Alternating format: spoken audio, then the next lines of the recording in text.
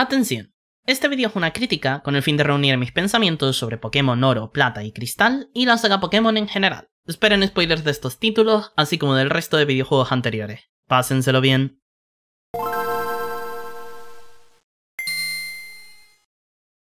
Pokémon Cristal es el videojuego de mi vida.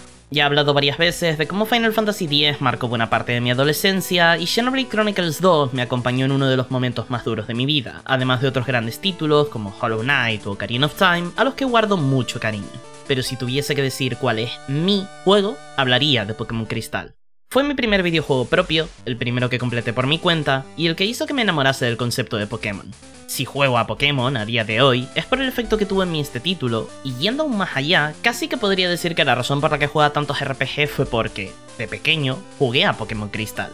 No es ni siquiera el videojuego al que más horas he dedicado dentro de la saga. Pokémon Zafiro se llevó más de 1000, Zafiro Alpha unas casi 600, y a saber cuánto tiempo he perdido esperraneando Rojo Fuego. No obstante, este es el videojuego al que vuelvo, el que me despierta las sensaciones más positivas y el que en general más quiero. Pero por eso mismo es por lo que, cuando empecé el título, intenté ir con cuidado. Me gustan mucho Pokémon Oro, Plata y Cristal, de eso no hay ninguna duda, pero no quería que ello nublase mi juicio sobre el título, porque lo que quiero con estos vídeos no es hablar de lo que me gusta, sino también explicar el por qué, y además dar una crítica bien fundamentada de aquello que me gustaría que cambiasen o mejorasen. Y por eso me preguntaba, ¿Serían Pokémon Oro, Plata y Cristal buenos videojuegos? ¿O habrían envejecido mal? ¿Estarían mis recuerdos positivos de este título llenos de nostalgia? ¿O es que Game Freak hizo las cosas verdaderamente bien? Esas eran mis preguntas, y me alegra decir que tengo las respuestas. ¿Quieren saber más? Vamos a ello. Y para comenzar, quiero hacer como siempre y empezar tratando lo que vemos, el apartado gráfico, uno que muchos pueden tachar de anticuado, pero que a mí me ha sorprendido por una buena serie de motivos. Y lo principal a la hora de tratar estos gráficos, en mi opinión, es tratar la potencia de la consola. Porque a diferencia de Pokémon Rojo y Azul, sus predecesores, en los que la pantalla nos mostraba si acaso 6 tonos distintos, contando blanco y negro, ahora oro, plata y cristal pueden mostrar un abanico más amplio gracias a la Game Boy Color. Ya no son solo blanco, negro, azul claro y azul oscuro con algunos destellos de rojo en las animaciones, sino que ahora hay una mayor variedad, con los obvios negro y blanco, dos colores para un Pokémon y otros dos para el otro, así como un mayor rango en los ataques.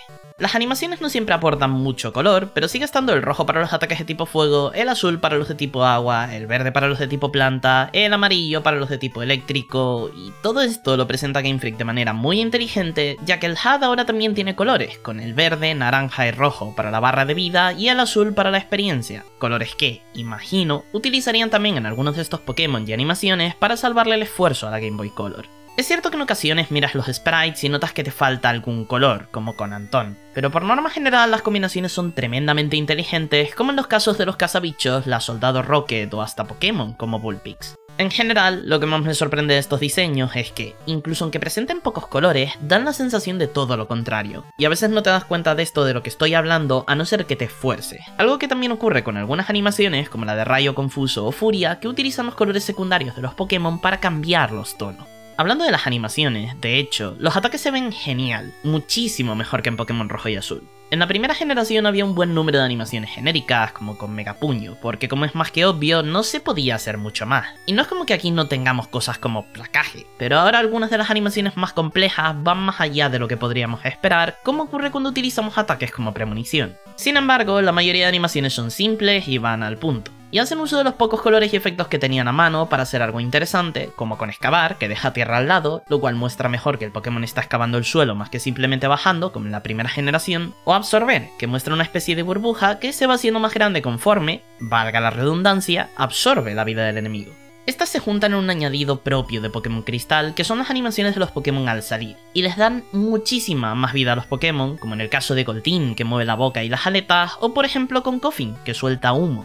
Todas estas animaciones son excelentes ya que hacen que los Pokémon cobren aún más importancia. Estos ya no son una cosa estática que debes imaginar en movimiento, sino que ahora se nota que tienen vida y un comportamiento, e incluso aunque solo sean un par de frames, puedes ver cuál es la idea detrás de cada diseño. Pero esto no sería suficiente sin la base sobre la que se monta, que es el diseño de los Pokémon, y estos son preciosos. Los colores los hacen más llamativos y también tengo la sensación de que estos sprites han mejorado considerablemente con respecto a la primera generación, en la que a veces estaban demasiado comprimidos, sobre todo cuando eran Pokémon grandes. En la segunda generación, la mayoría de sprites se entienden mucho mejor, especialmente cuando los miras por la espalda. No, en serio, ¿alguien me puede explicar qué se supone que es esto? Y aunque con los Pokémon debo admitir que puede ser simplemente una sensación mía, con los entrenadores sí que me parece algo destacable, pues puedo ver que la mayoría son más que palos estáticos con algún que otro añadido y ahora son más dinámicos, con más poses, vestimentas más variadas y obviamente un añadido en colores que los hacen más entendibles a la vista. En general, creo que Pokémon Oro, Plata y Cristal son videojuegos muy bonitos, pero considero que hay un punto en el que esta segunda generación puede ser algo fea que se da con los diseños de mundo. Y vamos, no es que el mundo per se sea feo. De hecho, gracias a esta variedad en colores de la que dispone la Game Boy Color, además del añadido en memoria, hay una variedad mayor de sprites y zonas, aunque también he de admitir que no son muchas. No obstante, la ruta helada se ve verdaderamente helada, al menos en Pokémon Cristal, las cuevas son oscuras y algunas ciudades tienen tonos distintos que las diferencian bien, como en el caso de Ciudad Trigal. Me habría gustado ver añadidos como zonas de desierto, nieve o volcán, pero tampoco sé hasta qué punto se podría haber ampliado el mundo de tal manera, y por ello debo decir que en general no estoy decepcionado con las zonas por las que pasamos. Por ello, el único punto con el que siento que puede ser algo quisquilloso es con algunos elementos en los que se notan los años, que más bien suelen estar en interiores, como cables que parecen de todo menos cables, o los muros del faro que son... ¿verdes? Es cierto que hay que recordar que Pokémon Oro y Plata salieron en 1999, y hace 23 años, con la Game Boy Color, había unas limitaciones que ahora no encontramos. Y por eso, es por lo que quiero que tengan en cuenta que lo que pretendo criticar no es que el videojuego no pudiese ser Horizon Forbidden West, sino que incluso jugando dentro de sus propias limitaciones, a veces puede ser un poco irritante a la vista en sus diseños o en el uso de algunos colores. No obstante, como decía, esto es algo que se da principalmente en interiores, y tanto en exteriores como mucho más importante en combate, el videojuego se ve bastante bien, y creo que avanza considerablemente con respecto a las primeras entregas. El salto generacional trae más colores y sprites, pero lo importante es la forma en la que Game Freak los utilizó, dando lugar a un mundo más variado, unos Pokémon y entrenadores más limpios y en general un videojuego más bonito. Y siguiendo esta línea de salir del juego más tosco para adentrarse en uno más agradable, no solo se cambiaron los gráficos, sino también el sonido, el cual, para ser sincero, me ha sorprendido bastante.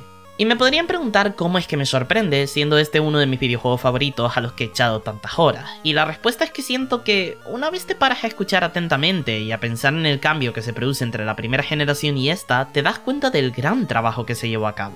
El elemento central del sonido es, por supuesto, la música.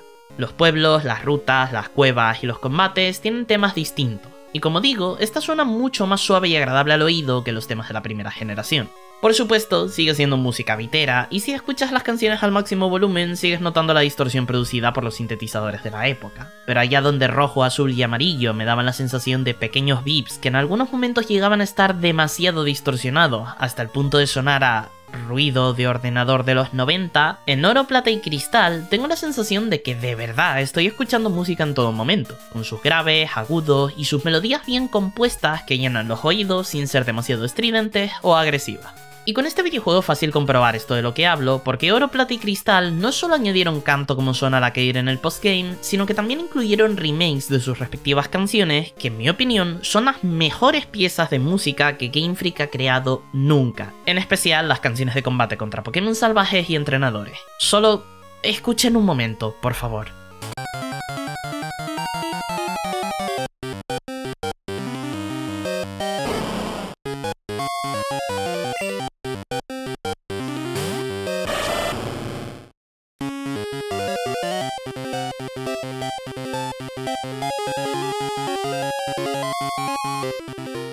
La música es sorprendentemente tranquila. No es como que lleve utilizando la canción de Puebla Salea en la outro de mis vídeos durante años por ningún motivo, vaya. Pero hay otra gran variedad de estos temas que hacen que te sientas en paz, como el tema de surf o el del Parque Nacional.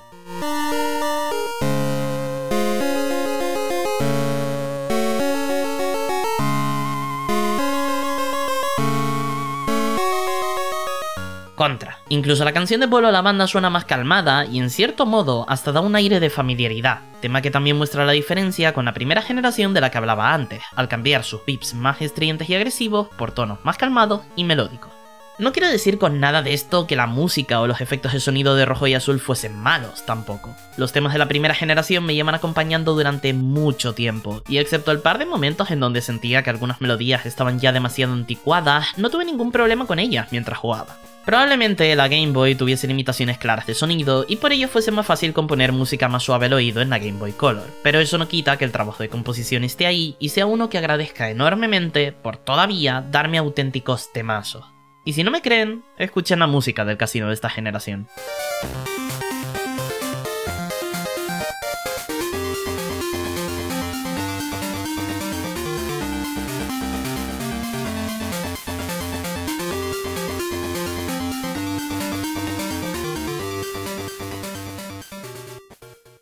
Ahora, como es más que obvio, los gráficos y el sonido no son los únicos elementos que cambian, y uno de los que peor estaba en las entregas de la primera generación era la traducción, con un grandísimo número de mensajes sin traducir, como Scratch Scratch a la hora de darle un masaje al capitán del SSN, Gasp o los Ghost de Pueblo Lavanda, así como otros directamente mal traducidos como Super Necio, Pokémon Forastero o que Hit fuese traducido por tocado en lugar de golpeado.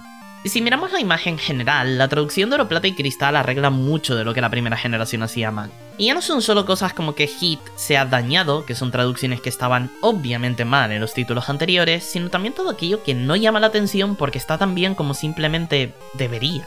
No es que sean cosas muy locas con el texto, honestamente. Hay algún que otro personaje interesante que te ruge en mayúsculas para después darte la respectiva MT, u otros que directamente tienen mucha personalidad, como en el caso de Primo, pero son casos aislados que no se suelen repetir.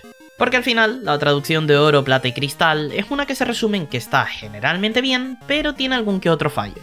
Hay algunas frases que no entiendo del todo bien, otras como ¿qué sabes tú? o lo conseguí, que intuyo que son traducciones literales de expresiones del inglés, y algunos fallos más graves como que quitar un objeto sea enviar o que el título diga que un ataque no afectó al enemigo cuando simplemente falló. No obstante, si se arreglan estos problemas, se nos queda un videojuego bastante decente para ser honesto.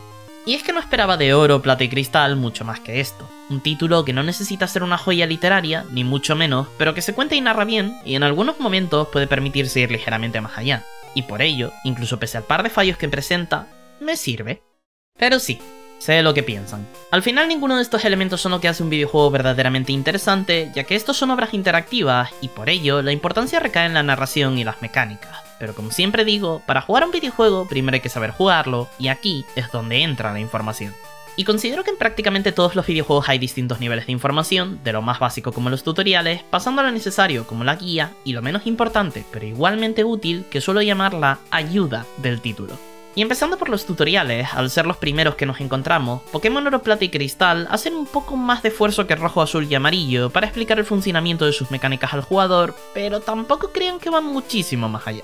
Y esto está bien, vaya, porque la primera generación hacía que sus tutoriales diesen información suficiente sin sacrificar excesivo tiempo de partida. Así que estos títulos, en lugar de centrarse en cambiar el modelo, lo mantienen y solo hacen unos pequeños añadidos, como los tutoriales en los que se te pregunta si quieres recibir la información o no. Pero honestamente, tampoco es que sean muchos. Te puedes saltar la información del Pokégear que te da tu madre, aunque te lo termina diciendo igualmente, el tutorial de capturas, el cual tampoco es un problema ver, o el tour por la ciudad del señor de Ciudad Cerezo, pero como este último te da el mapa del Pokégear, terminas por acceder igualmente. Al final, la información se da prácticamente de la misma manera que en la primera generación. Los NPCs de las primeras rutas y pueblos te dan consejos relevantes para que sepas cómo hacer ciertas cosas, como encontrar Pokémon, saltar setos o atrapar Pokémon con más facilidad, y conforme avanzas en la historia, estos personajes dejan de hablar de las mecánicas y se centran más en elementos narrativos para especialmente crear mundo. Bueno, todos excepto este señor Encanto que habla de que hay Pokémon en la hierba alta en la hora de juego número, no sé, ¿38? Por eso creo que, realmente, el mayor cambio en la información de Pokémon Oro, Plata y Cristal se da con la guía al jugador y el diseño de bloqueos del título, mucho más cómodos para que éste pueda avanzar sin problemas. Y lo que me refiero con el diseño de los bloqueos es a que en la primera generación se buscaba mucho el que los jugadores gastasen todas las posibilidades hasta dar con el trigger que avanzaba la historia. Así, cuando llegabas por primera vez a Ciudad Verde, no podías dirigirte al norte por el bloqueo del anciano ni al oeste porque se encontraba el camino hacia la calle Victoria, y lo que terminabas haciendo era entrar a todos los edificios de la ciudad hasta que dieses con la tienda, en la que te pedían que devolvieses el correo a Oak. Aunque hubiese pistas de hacia dónde dirigirte, sí que es cierto que rojo, azul y amarillo no llevaban de la mano al jugador, y aunque esto no sea un problema si hablas con todos los NPCs o si por supuesto utilizas internet, también hay que pensar que en aquel entonces el acceso a internet era más limitado y encontrar cosas como el sótano del casino de Ciudad Zulona era algo difícil si no hablabas con cualquier persona que te encontrabas en una ciudad. Y aunque no me parece de base un modelo terrible, ya que hace que el jugador necesite curiosear y explorar para pasar por ciertos bloqueos, tampoco creo que sea malo decirle al jugador en qué debería fijarse, sobre todo si el cambio en la ruta es inesperado. Por ejemplo, cuando sales del gimnasio de Pueblo Caoba, Elm te llama para avisarte de que algo extraño ocurre con las señales de radio, lo cual, sin decirte directamente que debes ir a la torre radio de Ciudad Trigal, al menos te lo deja caer de una manera sutil que permite a los jugadores más avispados asumir a dónde deben ir. O también, cuando obtienes las 8 medallas y sales de la guarida dragón, el profesor te llama para darte la Master Ball y de paso guiarte hacia la Liga Pokémon, que se encuentra al este de primavera. Estos casos son buenos porque de nuevo te avisan de manera relativamente sutil de que algo está ocurriendo en alguna parte o de que tienes que desplazarte y que ese lugar no está necesariamente en la siguiente ciudad a la que te diriges, sino en una que ya has visitado. Al cambiar el flujo de viaje del jugador, se le da un aviso para que no se pierda. Pero al final podemos ver este tipo de pistas a lo largo de todo el título. En el centro Pokémon de Ciudad Olivo, un hombre te avisa de que el marinero que se encuentra en el restaurante le enseña fuerza a tus Pokémon para que así no te pierdas una MO importante. Cuando llegas a esta misma ciudad, Plata te habla con un diálogo cargado de personalidad sobre cómo la líder de gimnasio no está porque está cuidando de un Pokémon enfermo en el faro, lo cual te lleva a investigarlo. E incluso en Canto te dan pequeñas pistas para que sepas pasar por el bloqueo de Snorlax, primero recuperando la energía de la torre radio de la banda y luego consiguiendo una tarjeta de expansión para poder sintonizar la Pokeflauta. La guía de este videojuego es mejorable, no voy a decir que no. Me gustaría que Fuerza o Surf se encontraran en lugares que destacasen algo más para no depender de hablar con NPCs y también agradecería un poco más de claridad en algunos mensajes. Pero también es cierto que es ligeramente más sutil en la guía de lo que me esperaba para hacer una serie de videojuegos publicados por primera vez en el 99 y que ha sabido darme empujoncitos para que vaya en la dirección correcta sin que sienta que me está dando la mano, lo cual me alegra. Pero el todo de la información no se resume solo en esto, y es que oro, plata y cristal solucionan incluso algunos de los problemas más pequeños de información que tenían rojo y azul. Por ejemplo, ahora podemos ver qué hace cada objeto en la mochila, puedes comprobar los ataques de cada Pokémon con su potencia y sus PP, hay una pequeña marca para saber qué Pokémon has capturado y cuáles no, tienes una barra de experiencia para saber cuánto te falta para llegar al siguiente nivel, y contra, hay hasta algunos detalles del mundo a los que estamos muy acostumbrados, como que unas marcas en el suelo nos indiquen que se puede entrar a un edificio o que el nombre de la ruta o la ciudad a la que has accedido aparezca en pantalla, lo cual facilita que el jugador se oriente. Hay cosas que mejorar, por supuesto. Las GMT no me muestran la potencia, la precisión o los PPs del movimiento que voy a enseñar y hay algunos momentos en los que de no haberme aprendido el videojuego de memoria esperraneando hace años me habría perdido, como cuando tienes que encontrar la maquinaria que deja atrás el Rocket de Celeste. No obstante, siento que estos son problemas menores que no ensucian el buen trabajo que hizo Game Freak en esta segunda generación. Los tutoriales son rápidos y en su mayoría opcionales, el cambio del diseño del mundo hace que no tengas que dar tantas vueltas en un mismo lugar hasta encontrar el camino, la guía del título es sutil para que no te pierdas, pero te deja pensar y ser curioso, y todo esto se añade una pequeña ayuda que soluciona algunos de los problemas de información de los títulos del 96. Y por todo esto, incluso aunque no es perfecto, creo que es suficiente para unos videojuegos del 99 de la Game Boy Color, si lo soy sincero. Pero como siempre digo, estamos para lo que estamos, y cuando jugamos a un videojuego es para eso, jugarlo y por ello creo que va tocando hablar del gameplay, de las mecánicas. Y ya que Pokémon es una saga tan continuista, que va añadiendo unas pocas mecánicas a una base sólida con cada entrega, creo que es una buena idea hablar de esta segunda generación haciendo una comparación con los aciertos y errores de sus predecesores. Y por ello, creo conveniente iniciar, como con la crítica de Pokémon Rojo y Azul, por la mecánica que ya hemos mencionado brevemente, el mundo, cuyo diseño habíamos tratado a la hora de hablar de la información. Lo interesante de este diseño de mundo es que, como decía, cambian Pokémon Oro, Plata y Cristal. En la primera generación te pide que des vueltas de un lado a otro para encontrar un objeto que te permite conseguir otro que elimina un bloqueo del mundo. Así, para poder pasar por el bloqueo del Snorlax, primero necesitas hablar con el señor Fuji, que está en lo alto de la torre Pokémon, que bloquea un Marowak fantasma para el que necesitas un Sylph Scope que consigues en Azulona derrotando a Giovanni. Así, lo que es una piedra simple en el camino termina siendo una aventura en dos ciudades que te presenta problema tras problema que debes ir solucionando hasta poder superar la última adversidad que te permite llegar a la siguiente ciudad. El mundo de Pokémon Oro, Plata y Cristal sigue un poco esta idea, pero no con la misma ejecución necesariamente. Es cierto que Game Freak nos trae bloqueos en el camino que no nos permiten avanzar la historia hasta que hagamos determinadas cosas, convirtiendo un mundo pseudo abierto en uno lineal. Pero también es cierto que estas capas de bloqueo se hacen más simples. Por ejemplo, cuando encontramos a Sudowoodo solo necesitamos la regadera, para la que primero debemos conseguir la medalla de la ciudad que prueba nuestra valía. Y si queremos derrotar a Yasmina, primero tenemos que ir a Ciudad Orquídea, conseguir la medicina secreta y dársela a Lanfaros del Faro. Los bloqueos de mundo que no permiten que consigas medallas y avances hasta la liga Pokémon suelen ser mucho más simples y te llevan por el mapa en una línea. Y prácticamente el único momento relevante en el que debes volver a un lugar que ya has visitado es en la sección de los Rocket, en la Torre Radio de Ciudad Trigal, en la que todo se desarrolla sin que debas ir a buscar otro objeto en otra localización que no sea esta. No obstante, una cosa era simplificar los bloqueos y otra era hacerlos mal. Es cierto que en rojo y azul no te dejan salir de Ciudad Plateada sin haber derrotado a Brock, pero es una de las pocas barreras estúpidas que pone el videojuego si no contamos los guardias sedientos, que aún así siento que tienen algo más de sentido mecánico al pedirle al jugador que consiga un objeto para poder avanzar y no que simplemente derrote a alguien porque es que, bueno, tienes que visitar el gimnasio, hombre. Y lamentablemente, oro, plata y cristal están llenos de estos bloqueos. ¿Te vas a ir de Ciudad Malva sin enfrentarte a Pegaso? Vuelve atrás. ¿Te vas sin coger el huevo del señor Pokémon que te da el ayudante del profesor Elm? Vuelve atrás. ¿Quieres enfrentarte a Fredo? No, hombre, que está pasando algo en el lago de la furia. Y así un par de veces más. Sé que Pokémon hace esto en más ocasiones a lo largo de la saga, pero eso no implica que deje de parecerme mal. Entiendo por qué lo hacen. Game Freak quiere que juegues al videojuego en orden para que no tengas problemas por nivel o lo que sea, pero eso no quita que sea poco inteligente y que trate al jugador como un niño al que se le debe prohibir el acceso a determinados lugares hasta que haga lo que tú quieres. Y es que lo que me molesta verdaderamente es que saben bien cómo hacer que el jugador no acceda a nuevas zonas. Por ejemplo, Sudowoodo y Snorlax son buenos bloqueos porque son Pokémon que se comportan de una determinada manera y que necesitan una interacción específica para que cambien tal comportamiento. Le da vida al ser en cuestión y además de ser una buena elección a nivel mecánico para que el jugador haga lo que tú quieres en el mundo, también lo es a nivel narrativo para justificar por qué ocurre tal cosa dentro del mundo en el que nos encontramos. Las GMO, todo y que mejorables, también tienen sentido al ser la idea más cercana de permitir que los Pokémon que has capturado interactúen con el entorno. Y si bien me gustaría que un arbolito pequeño pudiese ser, por ejemplo, quemado, no me parece una idea del todo horrible para el año 99, y de nuevo, justifican por qué no puedes acceder a determinados lugares, porque necesitas enseñarle a tus Pokémon un movimiento que aún no tiene. Sin embargo, cuando alguien me dice que vuelva a una ciudad o que no acceda a una ruta porque no les apetece, el mundo se resquebraja, porque veo cómo no son los personajes o los Pokémon los que me hablan. No es un mundo que vive y por el que tengo que pasar haciendo uso de las mecánicas que da el propio videojuego, sino que son los desarrolladores los que me están diciendo, omnipotentes, que esa no es la manera de jugar a su título, y que antes debo hacer otras cosas. Y vaya, que entiendo que es un videojuego antiguo, pero creo que cuando Rojo y Azul te pedían que usaras corte para acceder al este de Ciudad Celeste hasta el túnel Roca, o que tuvieras surf para llegar a Isla Canela, el videojuego se sentía más sincero y en general mejor.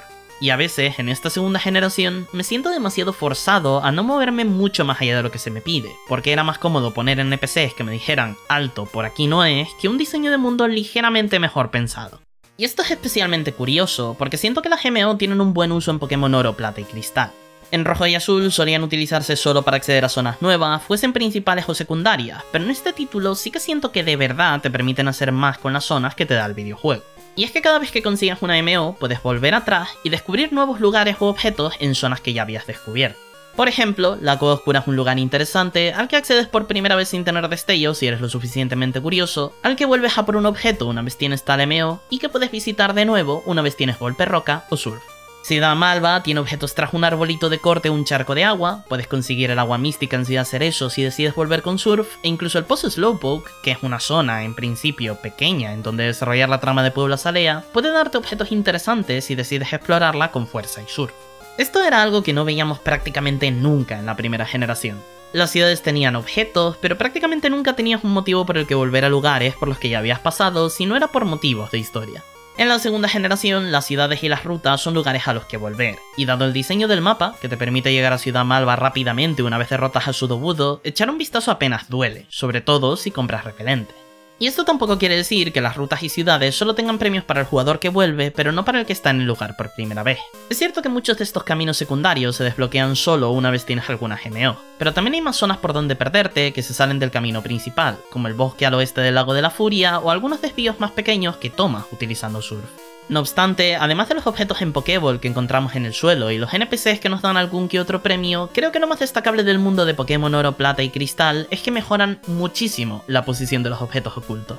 En la crítica de la primera generación afirmaba que muchos de estos estaban en lugares un tanto extraños, como los del camino de bici, extremadamente difíciles de encontrar e incluso conseguir. Es verdad que había algunos al final de pequeños pasillos o en lugares que destacaban a la vista, pero al darme una de cal y otra de arena, el videojuego no terminaba de encantarme con esto. En estas entregas siento que, ahora sí, prácticamente todos los objetos ocultos tienen sentido. Salvando esta superposición en una esquina totalmente aleatoria, prácticamente todos los premios ocultos se encuentran al final de pasillos, en rocas que me llaman la atención o esquinas que me han parecido llamativas sin siquiera mirar una guía. En algunos lugares, como el restaurante, podemos encontrar restos en una papelera, lo cual se me justifica narrativamente, y otras zonas, como el bosque verde de Canto, son una reducción de lo que habíamos visto en la entrega anterior, pero que aún así nos da muchos de estos objetos si nos paramos a buscar un momento.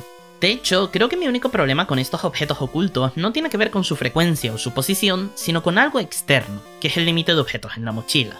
Y sí, en la crítica de Pokémon Rojo y Azul decía que este límite iría desapareciendo con las generaciones, pero realmente estaba sobreestimando la capacidad de esta en la segunda generación, que también me ha dado más de un dolor de cabeza, aunque por fin la mochila tenga unos compartimentos para Pokéballs, objetos clave y máquinas técnicas y ocultas que dificultan que no puedas recoger otro objeto, a no ser que nunca utilices, vendas o dejes algunos de estos en el PC. El premio que te da explorar el mundo está generalmente bien, y además añade esas pequeñas interacciones como hablar con personajes o hacer recados para gente, como la copiona o el guardia que te da un espiro con una carta, que aumentan aún más la sensación de que este mundo está vivo, no solo a nivel mecánico, sino también narrativo.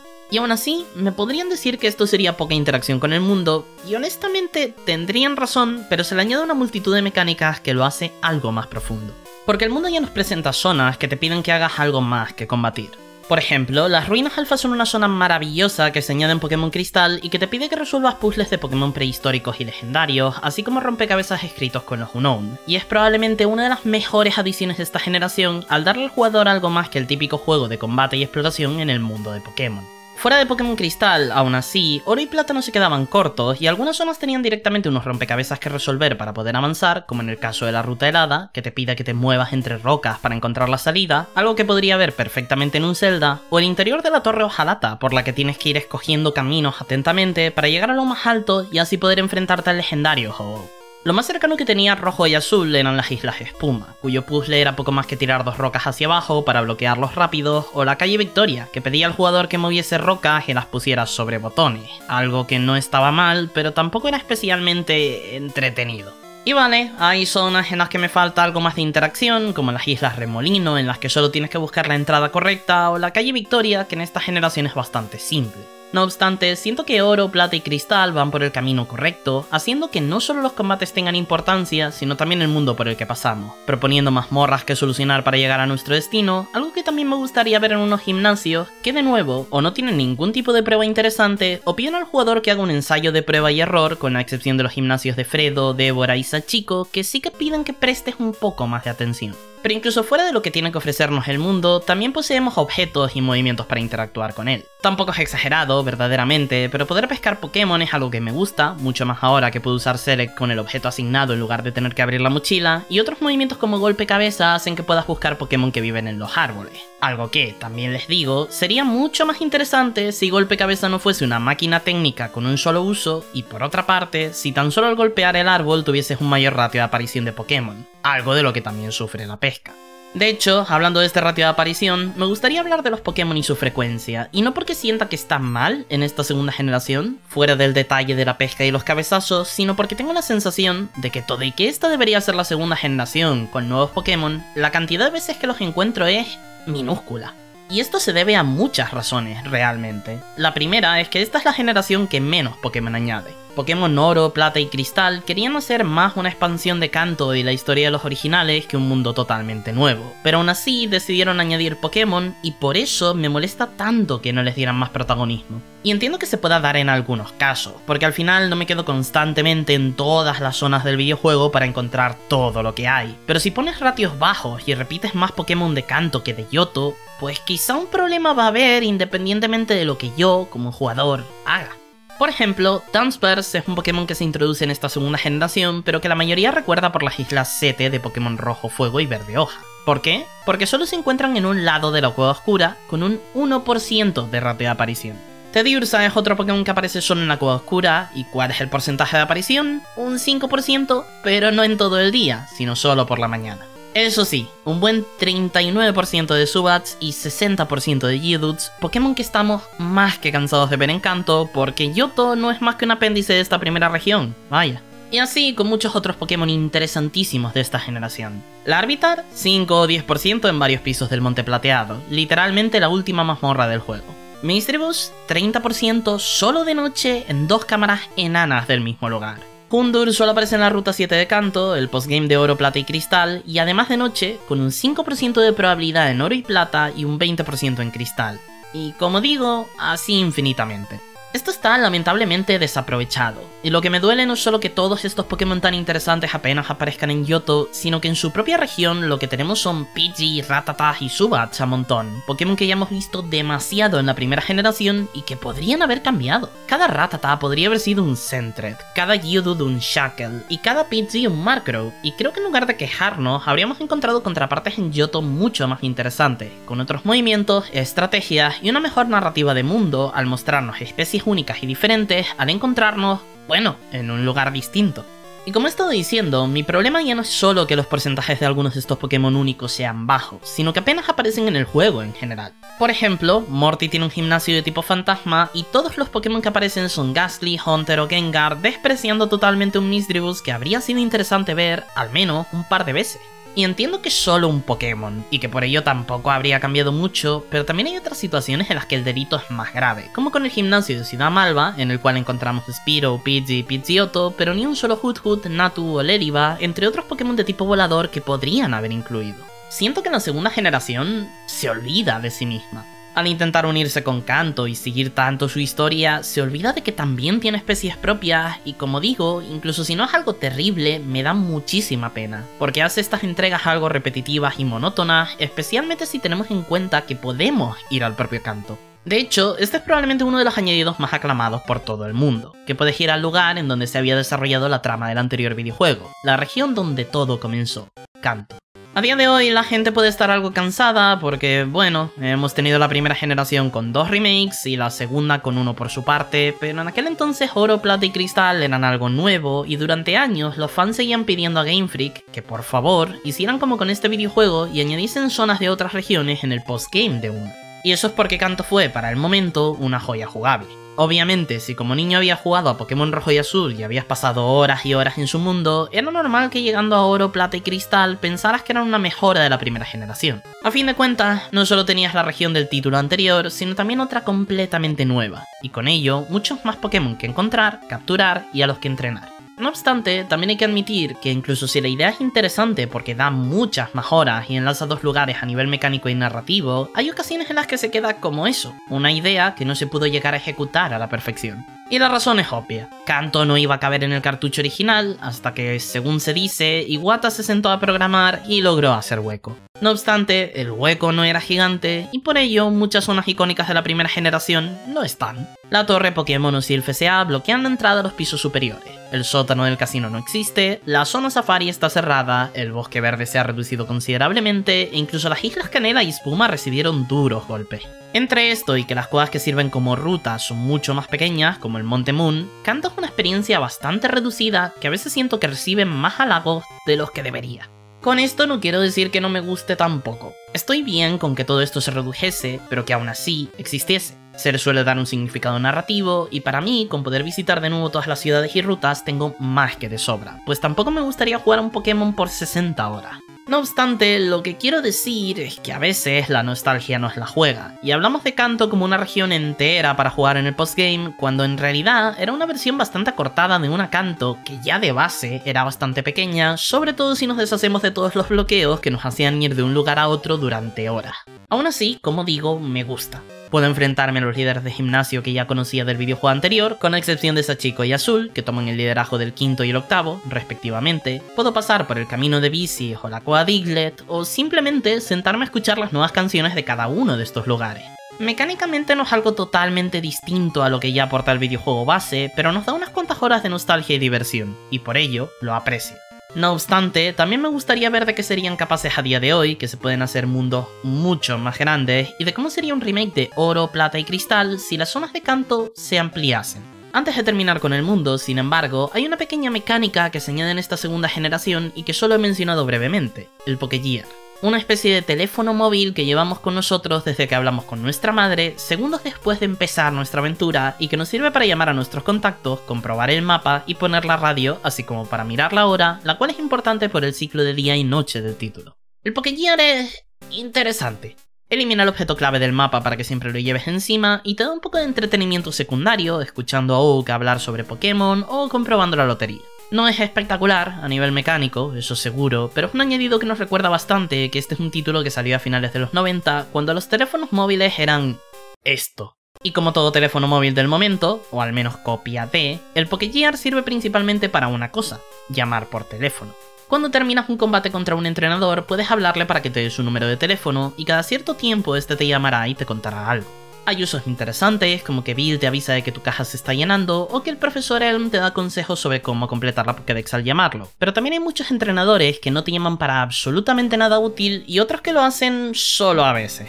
Algunos te avisan de que han aparecido Pokémon raros en una ruta, otros te dan regalos como piedras, se te avisa sobre el comienzo de las rebajas en el centro comercial de Ciudad Trigal y otros te avisan para luchar de nuevo. El problema es que ya no solo es molesto tener que hablar con cada uno de los entrenadores después de luchar para saber si los puedes añadir al Pokégear o no, sino que la mayoría de ellos no aportan nada verdaderamente interesante y al final terminas recibiendo llamada tras llamada de gente pesadísima que solo te cuenta su vida. Algo que, aunque narrativamente sea interesante porque le da valor a cada uno de estos individuos, también hace el videojuego algo más tedioso, sinceramente. Por último, como decía, el Pokégear te permite comprobar el día de la semana y la hora, las cuales introduces al inicio de la partida y se mantienen a no ser que busques una contraseña específica que varía según tu dinero, número de identificación y tu nombre de entrenador, algo que termina siendo bastante molesto. Y es que hay muchas mecánicas que giran alrededor de este ciclo de día, noche y día de semana. Como mencionaba, hay Pokémon que aparecen solo en determinadas horas del día, lo cual hace aún más complicado conseguir algunos que de verdad quieras, sobre todo si solo puedes jugar en ciertas horas, algo que me pasaba a mí por grabar, pero que también podría ocurrir a cualquier jugador si tiene que ir a clase, trabajar u otras obligaciones. Por ello, lo que yo habría propuesto sería un ciclo de día y noche, así como de día de semana, que funcionase dentro del propio videojuego. Creo que esto no habría sido tan extraño, ni siquiera para la época, pues solo se tendrían que haber configurado de tal forma que las mañanas durasen 10 minutos, los días otros 10 y las noches unos últimos 10, haciendo que cada día fueran 30 minutos de partida o incluso menos, si así se deseara. De esta forma, el jugador tendría suficiente tiempo para atrapar Pokémon en una zona y no estaría atado a jugar a las horas que el videojuego quisiera, perdiendo muchos Pokémon interesantes por el camino. Los días de la semana no me parecen tanto problema realmente, y es que no es que consigas excesivos premios con ellos. Los hermanos semanales fueron un añadido interesante que con la suficiente información te permitía planear visitar algunas rutas o ciudades para conseguir objetos de potenciación de ataque.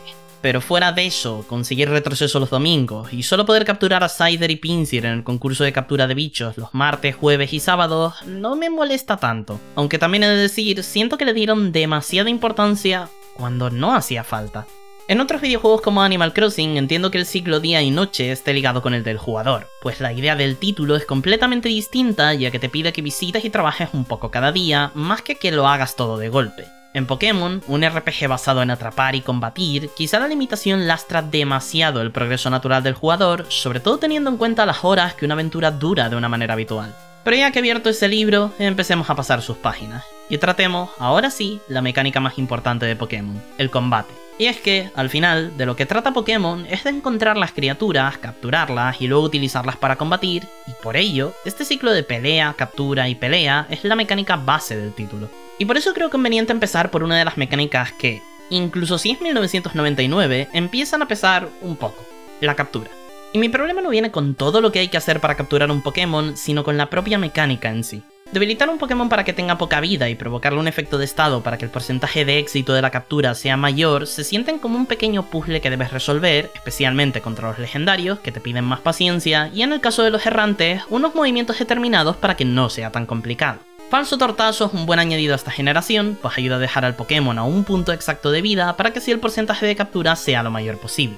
No obstante, ni esto salva la mecánica de ser aburrida y poco más que un juego de suerte, y aunque entendía que esto se diese en Pokémon Rojo y Azul, unos títulos de 1996 para una Game Boy en la que podía comprender por qué no se había intentado nada más, en estas entregas ya me empieza a parecer algo más cuestionable. Con esto no quiero decir que hubiese sido fácil crear una mecánica de captura y tampoco pretendo que Pokémon me diese un juego completamente distinto dentro del mismo, pero habría apreciado algún tipo de minijuego para que la captura recayese más en mí que en la espera de un porcentaje, especialmente en esta segunda generación en la que los ratios bajan considerablemente y pasamos de tener un casi 25% de ratio de captura con una Ultra Bola legendario a un 6%, que si bien sigue sin ser excesivamente bajo, se puede llegar a ser pesado, sobre todo si tenemos en cuenta que algunos sádicos les apetecía que Ho-Oh y Lugia tuviesen recuperación.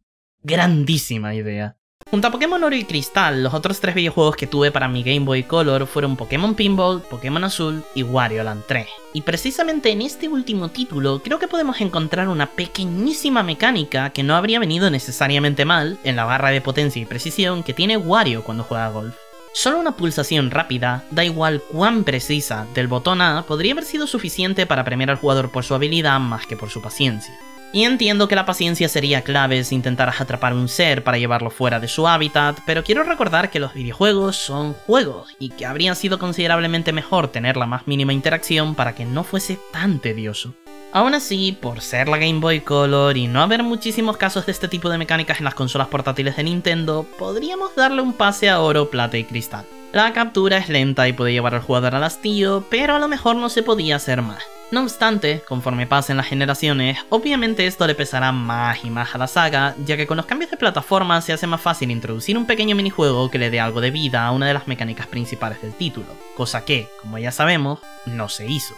Pero bueno, incluso si la captura es mejorable, no es algo que tenga mucho en cuenta. Y como digo, le puedo dar un pase, y esto no se debe solo a que sea un título antiguo, que quizá no podía ser más, como decía, sino también a que no se plantea como el núcleo mecánico, posición que toma, en su lugar, el combate.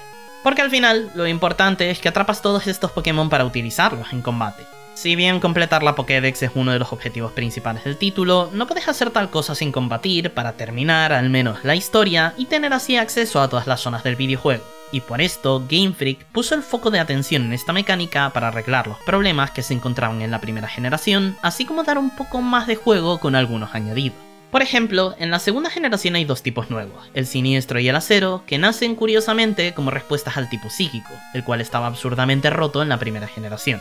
El tipo siniestro se resiste a sí mismo, es inmune y efectivo contra el psíquico y resistente y efectivo contra el fantasma, mientras que el acero resiste el acero, bicho, dragón, hielo, normal, planta, psíquico, roca y volador, y es efectivo contra hielo y roca. Un baluarte defensivo, verdaderamente. Por su parte, ahora también cambia las estadísticas de ataque y defensa especial, separándose en niveles base, aunque los de V y V se compartan, lo cual hace que Pokémon como Tentacruel dejen de ser tan fuertes, tanto a nivel ofensivo como defensivo, así como que Amnesia deje de estar tan ridículamente rota, subiendo dos puntos al ataque y la defensa especial por turno. Y todos estos arreglos se añaden a nuevas mecánicas que dan más vida al videojuego, como el género de los Pokémon que permite al jugador criarlos, mecánica que no solo permite que se busque uno con las mejores estadísticas posibles, sino que también aprenda movimientos huevo de uno de los padres, algo que hice yo con Hoppy P Execute para tener un Jump con reflejo.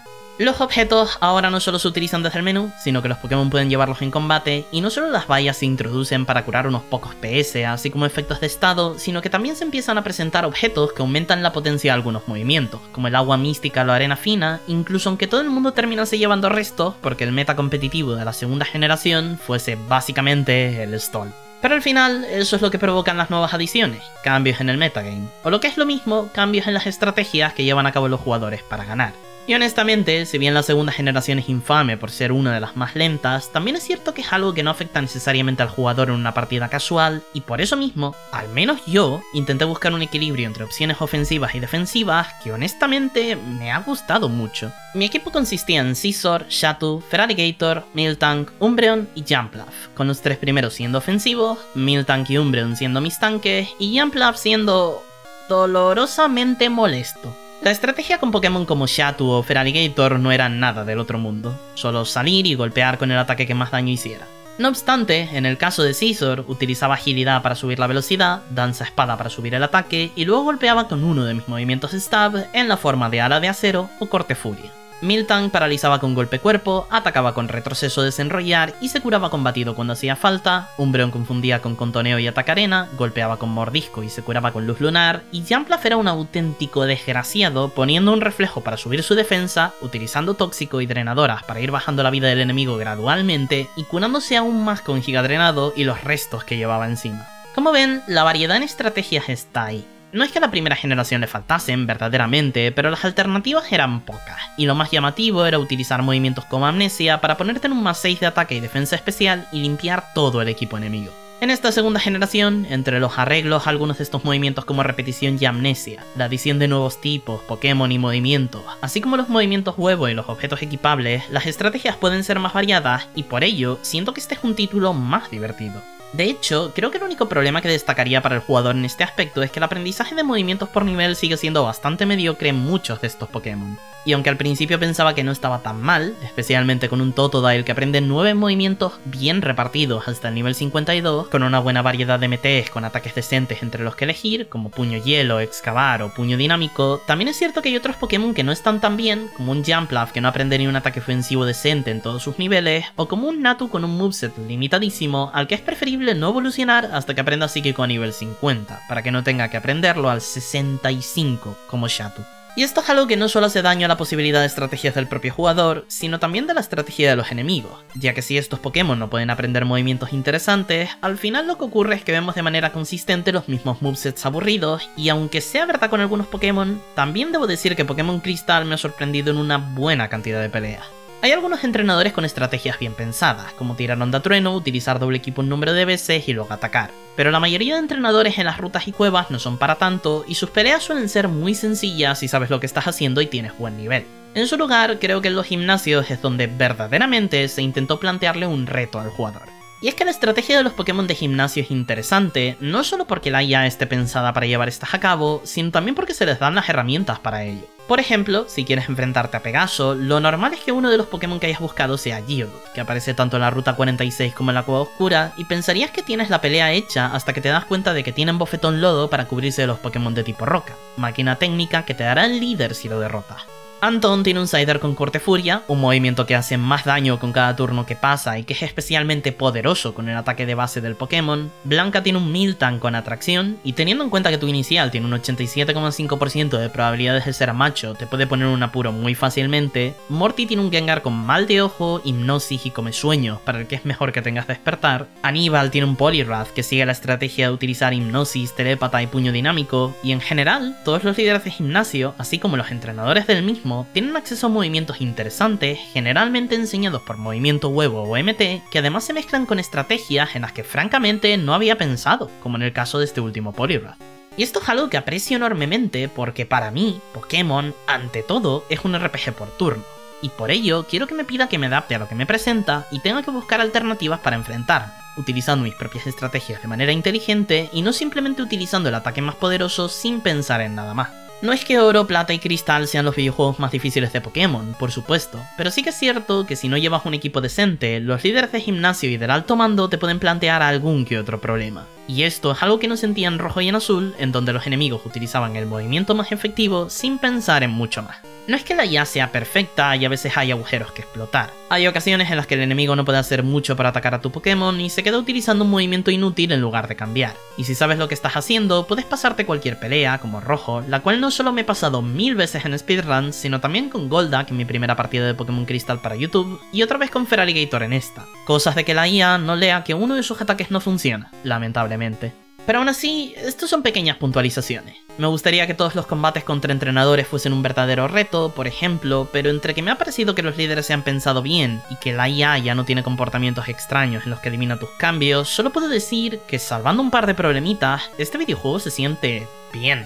Aunque por supuesto, lo que me podrían decir es lo que he escuchado una y otra vez durante toda mi vida. ¿Para qué comerte tanto la cabeza buscando estrategias cuando puedes estar varios niveles por encima y simplemente utilizar el ataque más poderoso? Y aunque esto sea verdad, ya no solo para Pokémon, sino para cualquier RPG, creo que los fans de esta estrategia se encontrarían con un problema, al menos en oro, plata y cristal. Y es que esta generación tiene un grave problema con la experiencia, lo cual provoca no solo que subir tantos niveles como me pueden decir sea difícil, sino que a veces ni siquiera llegas al nivel adecuado para enfrentarte a algunas peleas. Por ejemplo, cuando te enfrentas a Anton, sus Pokémon están a nivel 14, 14 y 16 respectivamente, y si tienes un equipo de 2 o 3 Pokémon que has ido entrenando, lo más probable es que estén entre el nivel 13 y 15. Una vez sales de este gimnasio y pasas por el encinar, llegas a la ruta 34. Te encuentras con 5 entrenadores, 6 si es de noche, y estos tienen prácticamente todos Pokémon de muy bajo nivel.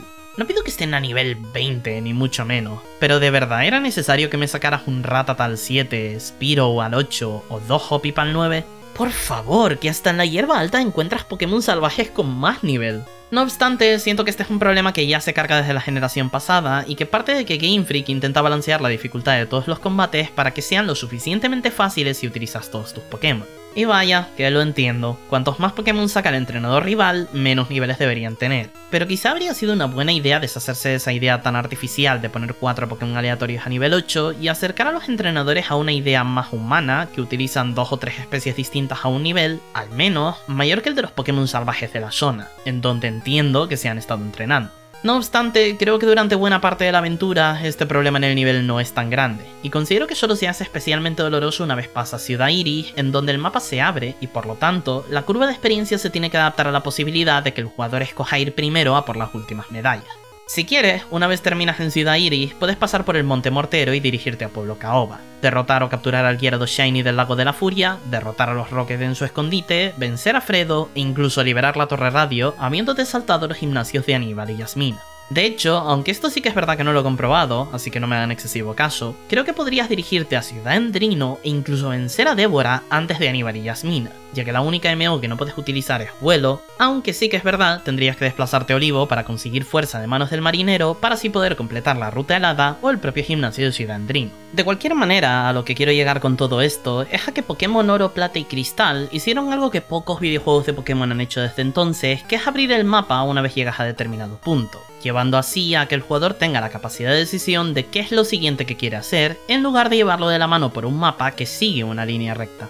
No obstante, esto trae problemas, y uno de ellos es, como digo, la curva de experiencia. Después de un con Pokémon a nivel 21, 21, 23 y 25, Aníbal sigue escalando los niveles al 27 y 30 con una Yasmina que prácticamente después de este combate tiene Pokémon de nivel 30, 30 y 35. Hasta aquí nada parece fuera de lo normal, hasta que nos damos cuenta de que los Pokémon de los entrenadores a los que nos enfrentamos en el escondite Rocket están entre el nivel 16 y el 25, con un máximo que se encuentra 10 niveles por debajo del Styrix de Yasmina, para más adelante enfrentarnos a un Fredo con un Sil al 27, un Tion al 29 y un Piloswine al 31 concluyendo nuestras aventuras contra los Rocket en una torre radio en la que vuelven a aparecer Pokémon a nivel tan bajo como el 21, con el más alto siendo un Hundom al 35, que ahora solo se iguala al nivel de un gimnasio que de seguir el progreso habitual hiciste hace más de 3 horas y media de partida. Y ahora entienden por qué hablaba de la posibilidad de elección en el mundo, ¿no? Si le das al jugador la posibilidad de hacer primero el gimnasio de Fredo, entonces debes mantener los niveles solo ligeramente superiores a los que nos encontramos en el gimnasio de Ciudad Iris, y por ello es por lo que, hagas lo que hagas, te encontrarás con un dilema. Y mis soluciones habrían sido una de dos o tirar abajo todo este modelo y hacer uno lineal, en el que no puedes viajar por el Monte Mortero hasta que consigas algo en Ciudad Olivo o Orquídea, lo cual no me gusta del todo porque verdaderamente prefiero tener la capacidad de decisión, o más atrevida y quizá más difícil de implementar en su momento, crear una especie de if statement que subiese el nivel de los Pokémon de los entrenadores según la cantidad de medallas que tuvieras, normalizando así una curva de experiencia que no solo hace daño al videojuego por los picos de dificultad que vienen posteriormente, sino también por el total y absoluto aburrimiento que pasar por una sección Rocket en la que muchos nos quedamos dormidos. El problema es que esto no se queda aquí, y el diseño de experiencia sigue siendo bastante extraño durante el resto del videojuego. Débora es una pelea bastante difícil al traer 4 Pokémon con sets bien pensados entre los niveles 37 y 40, a los que teniendo en cuenta los niveles de los entrenadores a los que te has enfrentado antes, quizá ni siquiera llegues.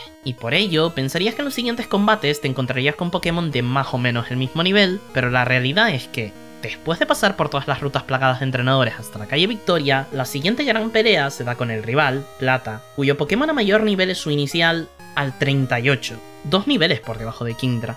Y si piensan que después de esto se arregla, pues sí, pero mal. Porque como el grueso de combates del título han sido contra Rockets con Pokémon bajos de nivel, lo normal es que llegues a la liga Pokémon con un equipo que ronda el nivel 35 de media. Algo que no solo me pasó en esta partida, en la que por cierto derrotaba o capturaba todo Pokémon salvaje que me salía, además de enfrentarme a todos los entrenadores de Yoto, sino también en la primera que tengo en YouTube, en la que también he de decir, iba relativamente más rápido. Y claro, el alto mando no va a tener Pokémon a nivel 35 de media, Solomento, el primer líder, tiene una media de nivel 41, pero Lance, el campeón, tiene una media de nivel casi 47, haciendo la media de todos los Pokémon del alto mando un nivel 44 para el que debes pasar unas cuantas horas farmeando. Y vale, es cierto, no hace falta pasar 8 horas y media como hice yo para llegar a nivel 50, que está unos 5 niveles por encima de lo necesario, pero al menos quería que mis Pokémon aprendiesen movimientos útiles y tuviesen sus estrategias ya preparadas, algo que no podía lograr si Nato no subía a nivel 50 para así aprender psíquico. El tema es que, igualmente, 10 niveles de diferencia son demasiado, y la subida de nivel me habría llevado unas 5 horas igualmente, lo cual no entiendo. Siempre he odiado farmear en RPG, lo he odiado en Final Fantasy, lo he odiado en Kingdom Hearts, lo he odiado en Pokémon, Octopath Traveler, contra, lo he odiado hasta en Xenoblade Chronicles 2 y es uno de mis videojuegos favoritos. El tema es que, ahí donde entiendo que en algunos de estos títulos lo hacía porque quería enfrentarme a super jefes, para los que tengo que ir preparado sí o sí, en Pokémon siento que, si no paso unas cuantas horas subiendo de nivel antes de enfrentarme al alto mando, estoy en una clarísima posición de desventaja que no es beneficiosa para nadie. Porque incluso si me dicen que esto es algo que necesita la saga para ser más difícil, siento que se están equivocando. Como dije en Pokémon Rojo y Azul, si la única forma que tienes de hacer que un jefe de un RPG sea más complicado es aumentando las estadísticas, entonces, o eres muy perezoso como para pensar en formas de que tu sistema de combate sea entretenido sin un handicap, o es que simplemente no sabes diseñar estrategias o una IA decente. Y si lo segundo podía ser algo más cierto en Pokémon Rojo y Azul, ya esta segunda generación nos lo ha desmentido con sus líderes de gimnasio. Por no hablar de que muchos de los Pokémon del alto mando tienen sets interesantes, como un Área 2 con telaraña, doble equipo, gigadrenado y relevo, un Umbreon con ataque arena, rayo confuso, finta y mal de ojo, o unos Dragonites que cubren múltiples tipos con accesos a los poderosos truenos, ventisca o enfado. Y el problema es que este desastre en la curva de experiencia no se queda aquí, porque Encanto se mantiene con entrenadores que vuelven a sacar Pokémon de nivel 30 o 28. Recuerdo, después de haber derrotado un Dragonite al 50 en la Liga Pokémon, y si esto les parece terrible, es incluso peor cuando ves que los Pokémon salvajes están a nivel 2. Puedo entender que quisieran hacer que narrativamente las zonas que visitar de Canto no fueran tan fuertes. Es decir, que al estar en zonas que técnicamente eran del comienzo de la partida de la primera generación, entonces los niveles serían más bajos. El problema es que, como he dicho en muchas ocasiones, siento que no hace falta justificar narrativamente las mecánicas aburridas, ya que incluso si no tienen sentido, las mecánicas divertidas terminan siendo más agradables al jugador. Y eso que me gustan mucho los videojuegos y los entiendo como obras que tienen algo narrativo que darme, pero aún así no me paro todo el rato buscando explicaciones a absolutamente todo. A partir de la tercera generación, por ejemplo, criar un Pokémon con una piedra eterna hace que haya una probabilidad de que su descendiente herede la naturaleza que éste tiene. Y no me he preguntado nunca por qué es así, ni me molesta que lo sea, porque es una opción que facilita la vida al jugador y no hay más. En este caso, tampoco creo que ningún jugador se hubiese quejado de que todos los entrenadores de canto tuviesen Pokémon con más nivel del esperado. Incluso creo que se podría haber justificado alegando que en los últimos 3 años la región entera ha crecido y sus entrenadores han mejorado entrenando Pokémon. Algo que también es aplicable a unos líderes de gimnasio que, oh vaya, sí que tienen Pokémon de mucho más nivel, incluso cuando dan las primeras medallas de la región. No quiero que piensen que esto tira por la borda toda la diversión que pueden traer Pokémon Oro, Plata y Cristal, pero sí que es verdad que arruina una buena parte de la partida. La sección Rocket es aburridísima. El gimnasio de Fredo es extremadamente fácil, y luego hay picos de dificultad que solo se arreglan volviendo atrás y como ya sabemos, subiendo de nivel. Si al menos Kanto hubiese seguido estos niveles, creo que no me habría molestado tanto, pero tal y como está, y sobre todo teniendo en cuenta que no necesitaban jugar tanto con la experiencia al tener un sistema aceptable de inteligencia artificial y estrategias en los movesets de los Pokémon, no puedo negar que no me he estropeado parte de la experiencia. Aún así, no quiero que nos vayamos de este apartado con mal sabor de boca. Pokémon Oro, Plata y Cristal no son videojuegos perfectos, pero hay un buen número de elementos mecánicos que clavan. Los combates son más entretenidos y desafiantes, las ciudades y rutas tienen pequeños desvíos que a veces te piden que utilices una MO que consigues más adelante para conseguir un nuevo objeto, y en general creo que esta es una generación que lo intenta. No obstante, también siento que hay fallos en las mecánicas de la segunda generación que aparecen durante todo el título. Y entre la escasez de Pokémon de Yoto que aparecen en el videojuego, un Pokégear que a veces es más molesto que beneficioso, y sobre todo, una curva de experiencia rarísima, no sé si podría decir que este videojuego me parece verdaderamente bueno. Y lo he dicho mil veces, Pokémon Cristal es uno de mis videojuegos favoritos. Es con el que crecí, el que me introdujo a Pokémon y uno de los que llevaré toda mi vida conmigo. No obstante, no es perfecto, y una de las mayores razones por la que no lo rejuego es precisamente por estos problemas. Aunque también les digo, se podrían arreglar para hacer del título una experiencia excelente. Pero todo y que las mecánicas de Pokémon suelen ser el grueso de los títulos, creo que el cariño por el que la gente se compra cada nueva entrega no suele ser por esto, sino más bien por la narración. Y cuando digo narración, pueden pensar que hablo de una historia que se te cuenta, pero nada más lejos de la realidad. Y es que cuando hablo de Pokémon, a todos se nos vienen a la cabeza alguna de estas criaturas. Muy probablemente Pikachu, que es la mascota de la saga, pero también puede ser tu Pokémon favorito, como Suicune, en mi caso, o cualquier otro. Y siento que una de las cosas que mejor hacía la primera generación a nivel narrativo era preparar el terreno para que estas historias de mundo se contaran. Los Pokémon eran parte del entorno, y por lo tanto el mundo giraba alrededor de ellos. Los Tiglet habían hecho una cueva que llevaba de carmina plateada. Los Clefairy venían de la luna y se encontraban en el Monte Moon y hasta podías revivir Pokémon prehistóricos de sus fósiles. No es que fuese perfecto, pero las entradas de la Pokédex y algunas notas perdidas en zonas como la mansión Pokémon de Isla Canela, que narraban la historia de la creación de Mewtwo, hacían de estos seres unos verdaderamente interesantes, que no solo eran bestias aleatorias a las que derrotar o capturar, sino que vivían en unos hábitats en los que debías encontrarlos, tenían unos comportamientos y se relacionaban de ciertas formas, incluso entre ellos. Y esto es algo que, obviamente, mantiene la segunda generación. No solo todos los Pokémon tienen una entrada en la Pokédex, como es más que obvio, sino que también hay pequeñas historias que tienen que ver con ello, que bien te pueden contar los NPCs o que simplemente ves al realizar determinadas acciones, como los Hoot que encuentras dormidos durante el día si utilizas golpecabeza en un árbol. Sin embargo, al contrario que en la primera generación, no hay muchas localizaciones que tengan que ver con Pokémon. Está el faro de Ciudad Olivo que ilumina un Ampharos y... poco más. Habría sido interesante darle algo de valor narrativo a la ruta helada o el monte mortero, entre otras zonas, pero no vemos mucho impacto por parte de los Pokémon de Kyoto en el mundo. Eso al menos si descontamos los legendarios. Porque creo que lo que clava esta generación, algo que no hacía tan bien la primera, es darle un valor narrativo a los Pokémon legendarios que se nos presentan. No solo somos nosotros quienes despertamos a Raikou, Entei y Suicune, sino que todos estos Pokémon tienen una historia detrás, además de un lugar propio en este mundo. En la primera generación, Mewtwo había sido encerrado en la Cueva Celeste, y es cierto que su historia al menos se nos presentaba, pero los otros tres legendarios del videojuego, Articuno, Zapdos y Moltres, estaban simplemente ahí, como si hubiesen decidido ponerlos en su respectiva zona después de haberla creado. No es que no tenga sentido que Zapdos esté en la central energía o Articuno en las Islas Espuma, pero teniendo en cuenta que son aves legendarias, esperarías algo más que esto. Y definitivamente mucho mejor para el pobre Moltres que aparecía en la calle Victoria a unos pasos de un entrenador aleatorio. Oro, plata y cristal le dan muchísima más importancia a los Pokémon legendarios. Ho-Oh y Lugia guardaban Ciudad Iris, pero un rayo cayó en una de las torres, la Torre de Atón. Tres Pokémon que solían correr por la ciudad se quemaron en este incendio, pero el Pokémon Arcoiris, Ho-Oh, los revivió, haciendo que se convirtiesen en lo que conocemos como Entei, Raikou y Suicune. Lugia, que residía en la Torre de Atón, se fue a las Islas Remolino y no volvió y ho partió a los cielos hasta que alguien que demostrase que su alma y la de sus Pokémon estaba unida llegase, razón por la que volvería a la Torre Ojalata. Este cuento es pequeño y gira mucho alrededor de Ciudad y su historia, pero le da muchísimo valor a todos estos Pokémon. Como decía, Articuno, Zapdos y Moltres se sentían como unos pájaros más. Son Pokémon estáticos que puedes ir y capturar si te apetece, pero fuera de la descripción de la Pokédex y su unicidad, nada me dice que sean verdaderos legendarios. Con Ho-Oh, Lugia, Entei, Raikou y Suicune sí que siento que hay poder. Ho-Oh revive Pokémon, Entei, Raikou y Suicune son capaces de viajar a velocidades altísimas después de ser despertados, y Lugia...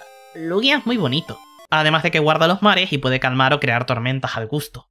Casi nada. Incluso otros Pokémon legendarios, como Celebi, tienen su propia historia, como Guardián del Encinar, incluso si no tienen un impacto o guardan una relación con el resto de la trama. Y esto es lo que creo que, para empezar, esta serie de videojuegos hace tan bien. Pero no se quedan ahí.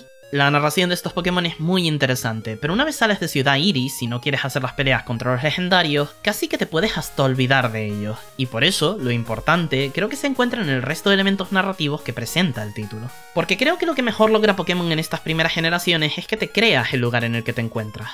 Hay historias pequeñas que tienen que ver con gente que te encuentras por el camino, como esta chica que no puede confiar en su novio porque es débil, o el científico que viene junto al Team Rocket desde Canto pese a que trabajaba para Sylph, y precisamente aquí he presentado ya uno de los temas principales de Pokémon Oro, Plata y Cristal, el paso del tiempo.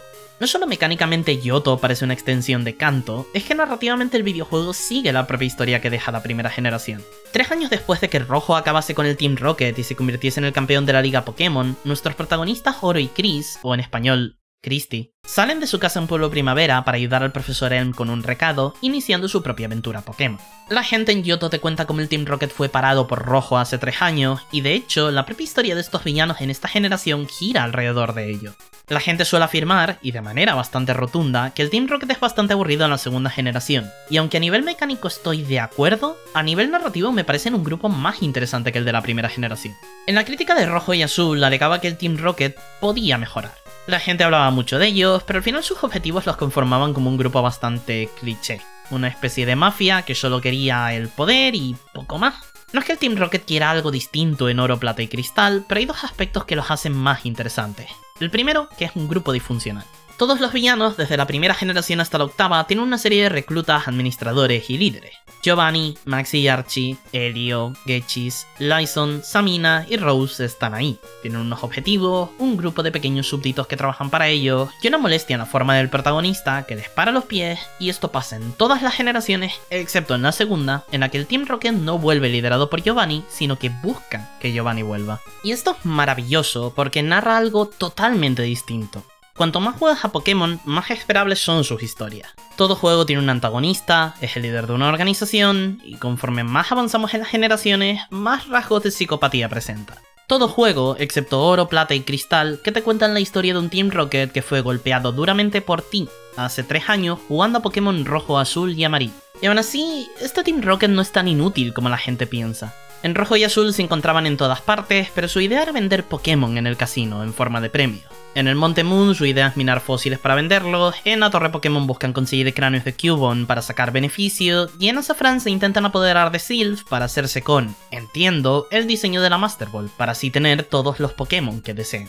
No obstante, incluso aunque sus acciones no están mal planteadas, como decía, no es más que una organización que busca sacar provecho de los Pokémon, utilizándolos como mercancía, algo que tampoco me parecía muy rompedor, siquiera interesante. Y por eso sus acciones en esta segunda generación me parecen más llamativas, porque aunque les mueva lo mismo, esto es, conseguir dinero por los Pokémon, sus acciones son mucho más descabelladas y notas un verdadero impacto en los Pokémon. Cierto, la madre de Cubone, Marowak, moría por culpa del Team Rocket, pero eso era una de las pocas acciones verdaderamente crudas que se mostraban, mientras que en esta segunda generación ves los puntos a los que llegan, como con los Slowpoke a los que les cortan la cola, el Gyarados que se transforma por una señal de radio o incluso los Electrode que tienen forzados a dar electricidad. El pico de su historia como villano se cierra con la torre radio que utilizan para pedirle a Giovanni que vuelva, y aunque esta parte los deje como un grupo algo patético, especialmente cuando el líder no aparece, también es verdad que hay que pensar en cuál es su siguiente objetivo, porque el Team Rocket no se apodera de este lugar solo para darle el mensaje a Giovanni, sino también para utilizar el experimento de ondas de radio que habían puesto en marcha en Pueblo Caoba,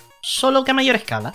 Y es cierto, He dicho un buen número de veces que el Team Rocket no me sorprende en esta generación y siguen siendo un grupo algo pobre en comparación a otras historias, pero la violencia que emplean no solo se da a mayor escala, sino también de una forma más gráfica para el jugador, que puede ver hasta el resultado de sus crímenes. No obstante, creo que el mejor vehículo para contar los temas de este videojuego no se encuentra en el paso del tiempo, el Team Rocket o incluso los legendarios, sino en plata. Nuestro antagonista pelirrojo, que caracteriza, en mi opinión, uno de los mejores rivales de la saga, y no digo esto por decir, sino porque de verdad creo que este es un rival que plantea una idea a la que te quieres oponer. Si volvemos a la primera generación y pensamos en Azul, vemos a un rival diseñado con dos conceptos en mente, que siempre va un paso por delante tuya y que busca los Pokémon más fuertes.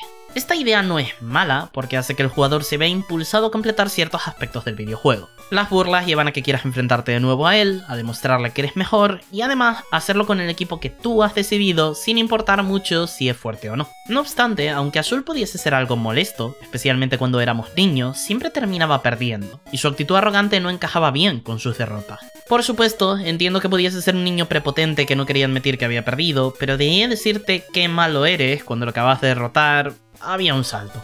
Al final su personalidad se basaba solo en esto, y por ello explicaba que al menos a mí me parecía un personaje algo pobre.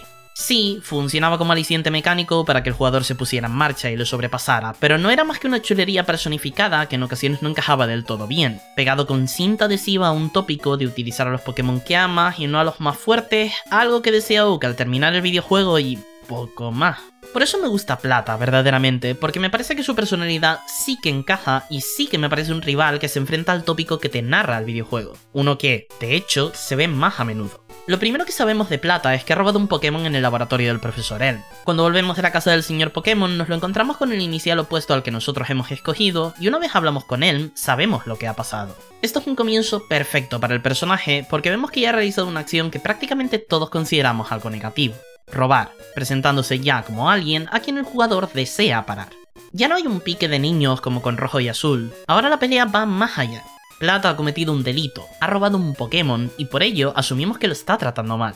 Una vez nos enfrentamos a él tras ganar la segunda medalla de gimnasio, este se muestra interesado en el Team Rocket y especialmente en aplastarlo. No obstante, lo más importante es que de nuevo, Plata muestra su personalidad con las palabras odia a los débiles, ya sean Pokémon o entrenadores, da igual quién o qué. Este es uno de los primeros detalles de la personalidad de Plata que vemos a lo largo del videojuego que es un personaje que desea ser fuerte y por lo tanto solo desea hacer uso de aquello más fuerte que tenga a su disposición, incluyendo los Pokémon, algo que también podemos ver cuando nos habla del Pokémon enfermo del faro de manera negativa y nos dice que aquellos que no pueden luchar son inútiles.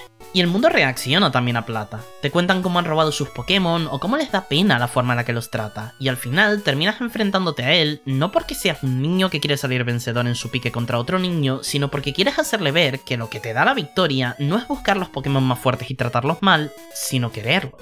Y sí, es cierto, al final esto es poco más que una idea narrativa, pero estoy seguro de que muchos de nosotros le tenemos cariño a algunos de los Pokémon que utilizamos en nuestras primeras partidas a un videojuego. Al igual que a mí me gustan tanto Suicune o Totodile por haber formado parte de mi viaje en Pokémon Cristal cuando era un niño.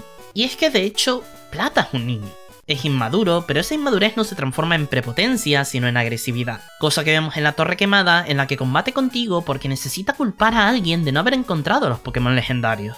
Y esto sigue así durante el resto de la aventura, hasta que en el subterráneo de Ciudad Trigal empieza a pensar en las cualidades que le faltan para ser mejor entrenador, como el amor o la confianza, tema que se desarrolla en la calle Victoria, en la que después de vencerle en un combate, Plata se plantea que quizá tiene que buscar qué es lo que tú tienes y a él le falta. Todo para convertirse en el mejor entrenador, algo que cree haber encontrado cuando te enfrentas a él en el Monte Moon. Y aquí, justo tras esta pelea, dice una de las frases más relevantes a nivel narrativo del videojuego que sus Pokémon confían en él. Y esto es importantísimo, porque siento que Plata es uno de los pocos rivales que crecen y se desarrollan en el videojuego. Lo que empieza siendo un robo para conseguir los Pokémon más fuertes y así ser el entrenador más poderoso, todo con el fin de aplastar a los débiles, termina siendo un diálogo interno en el que se pregunta qué es lo que verdaderamente hace falta para convertirse en ese mejor entrenador. Si él tiene los mejores Pokémon y tú no, pero tú has ganado siempre, ¿qué es lo que está ocurriendo? Con Azul no pasaba esto. No se da cuenta de que necesita cuidar a sus Pokémon y la presentación de este tópico solo te la trae Oak al final en un sermón que le está echando. Plata, por el contrario, entiende con el tiempo cuál es su problema en la forma de entrenar Pokémon, y por eso se siente tan bien. Pero todo lo bueno tiene algún problema, y Plata tiene unos cuantos. Por supuesto, podríamos hablar de cómo siento que sus rabietas son a veces demasiado estúpidas, como cuando te llama débil tras haberlo derrotado, o te dice que tienes merecido haberte caído por un agujero en la torre quemada, pero dejando de lado estos puntos que, de nuevo, considero que se entienden en esa inmadurez agresiva de querer culparlo a todo menos a sí mismo, que por suerte termina evolucionando en una autocrítica, creo que el gran problema que tiene Plata no está en su escritura, sino en que el videojuego omite uno de los hechos más importantes del personaje, su relación con el Team Rocket. Porque al final, creo que lo que mueve a Plata a intentar ser fuerte es lo que te repito un par de veces, que quiere acabar con el Team Rocket. Se sorprende cuando sabe que les has parado en Azalea, habla de ellos como débiles que actúan en grupo, y cuando te encuentras con él en el subterráneo en Ciudad Trigal, te dice que te quedes quieto mientras observas cómo los para. Plata odia al Team Rocket y parece que no desea ser fuerte sin motivo alguno, sino para derrotarlos a ellos, lo cual es irónico cuando piensas que la forma en la que el Team Rocket y Plata ven a los Pokémon es prácticamente la misma, como mercancía de la que hacer uso para ser más poderoso. Pero ¿de dónde viene esto? Hasta Rojo Fuego y Verde Hoja, en donde preguntan si somos el hijo del jefe, mencionando por el camino que es pelirrojo, no se consiguió hilar a ambos personajes. Plata es hijo de Giovanni, y precisamente esto es lo que le falta a Pokémon Oro, Plata y Cristal, ya que este contexto le habría dado mucho más juego a un personaje del que no entiende sus reacciones o su trato a los Pokémon del todo bien sin estos datos. Aún así, este es uno de mis rivales favoritos. Cuando estaba jugando a rojo y azul me puse a pensar en todos los rivales de la saga y al final llegué a la conclusión de que salvando este tipo de detalles, Plata era uno de los que más me gustaban, no solo por cómo evolucionaba, sino porque Game Freak trató muy bien el tópico que representa como rival del protagonista. Y aquí es donde podríamos hablar, por supuesto, del tópico central de oro, plata y cristal. El buen trato a los Pokémon, sean fuertes, débiles, estén saludables o enfermos algo que, como llevo diciendo un rato, representa todo lo contrario en lo que cree Plata, a quien vemos despreciar constantemente a todo aquello que no sea fuerte y esté al total de sus capacidades. Y este tópico ya no aparece solo al final de la partida, sino en varios momentos. Por supuesto, nuestro rival encarna bien la postura contraria, pero también nos lo dicen otros NPCs, como el marinero que habla de cómo para ser líder de gimnasio necesita ser compasivo además de fuerte, o incluso una señora en la tienda de Ciudad Malva que nos dice que los Pokémon débiles pueden crecer y hacerse fuertes, pero independientemente de ellos, debemos tratarlos con cariño. Muchos otros personajes tratan este tema. Yasmina se queda a cuidar a Lanfaros del faro, e incluso podemos suponer, por la cama y otros muebles en lo más alto, que se queda con él por las noches también. El maestro del santuario dragón te hace unas preguntas para evaluar cómo piensas acerca de los Pokémon, y solo puedes fallar si respondes cosas como que lo que te ayuda a ganar batallas es hacer trampas, que lo más importante para que los Pokémon crezcan es la violencia, o que los Pokémon más importantes son débiles o fuertes, y no ambos. Y todo esto se hila de manera excelente con el primer tema del que hablaba, la presencia de los Pokémon legendarios y cómo estos están esperando el momento hasta que un entrenador que una las almas de los Pokémon con la suya aparezca, uno digno de tal presencia. Algo que tú, como protagonista, consigues y un tópico en el que se hace hincapié constantemente a lo largo del videojuego. Y por estas cosas considero que Pokémon Cristal es un videojuego tan completo a nivel narrativo. Por supuesto, hay algún que otro agujero y te puede gustar más o menos lo que te intenta contar, pero creo que esta vez, de verdad, hay un esfuerzo por parte de Game Freak por transmitir unas ideas, poner en contra aquello que entienden como negativo en un personaje con un buen desarrollo a lo largo de la aventura y encajarlo con otras historias como la reunión del Team Rocket o el paso del tiempo que relaciona esta región con Kanto. Por supuesto, hay muchos elementos pequeños que otra gente puede considerar como más interesantes, como poder enfrentarte a Azul y Rojo, los efectos del paso del tiempo, no son los personajes, como Koga siendo líder del alto mando y su hija Sachiko heredando su posición como líder de gimnasio, sino también en el mundo, como con la torre Pokémon convirtiéndose en una torre radio, desplazando los restos de los Pokémon a un pequeño cementerio, y otros efectos que vemos, principalmente, en un canto en el que se ve muy bien cómo ha cambiado el mundo. No obstante, lo que me importa a mí, personalmente, no es tanto esto como todo lo demás. La importancia en los legendarios, la verdadera amenaza que parece suponer el Team Rocket, especialmente para los Pokémon, el dilema en plata y la forma en la que el videojuego hila el tópico principal sobre cuidar a los Pokémon con todos estos elementos narrativos son lo que se lleva a mi halago, y por esto es por lo que me gusta tanto. En conclusión, ¿son Pokémon Oro, Plata y Cristal buenos videojuegos? Para mi sorpresa, sí. No quiero negar que haya efecto nostalgia, pero he intentado analizar lo más fríamente posible qué es lo que me parece cada uno de los aspectos de estos títulos. Y la conclusión me ha parecido impresionante hasta mí, especialmente teniendo en cuenta que son videojuegos que salieron hace 23 años. Por supuesto, eso no quiere decir que no tengan problemas. Hay muchas cosas que se arreglarán en entregas posteriores y algunos de estos fallos han hecho que no los rejuegue tanto como me gustaría. No obstante, por lo mismo, también hay elementos que esperaba ver desarrollados de una forma más pobre y que al final me han asombrado. ¿Son estos los mejores títulos de Pokémon? No lo sé. Honestamente, creo que al final siempre barremos para casa y determinamos como mejor aquello que más queremos. Y esto no tiene tanto que ver con los puntos positivos y negativos de cada obra, sino con cuán fuerte nos sentimos con respecto a ellos. Si me paro a pensar, no. Pokémon Platino, Sol y Luna me parecieron mejores que Oro, Plata y Cristal cuando los jugué. Pero aún así, estos videojuegos siguen siendo mis favoritos a pesar de los años y los problemas. Me gustaría que arreglasen la curva de experiencia para no tener que pasarme horas farmeando antes de entrar en la liga Pokémon, que los Pokémon de Yoto aparecieran más a menudo, al menos en su propia región, y que el Pokégear fuese más útil que molesto.